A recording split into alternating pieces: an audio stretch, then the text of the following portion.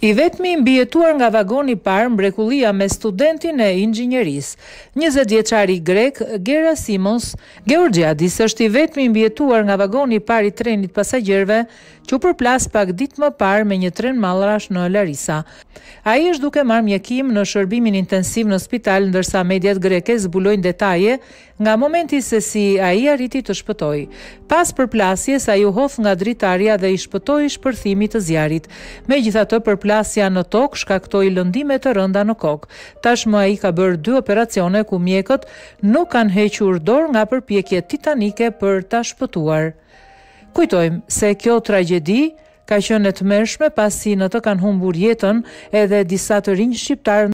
Kujtojmë se nga kjo tragjedi kanë humbur jetën edhe disa të rinj shqiptarë, ndërkohë që një tjetër i ri shqiptar nuk është gjetur ende.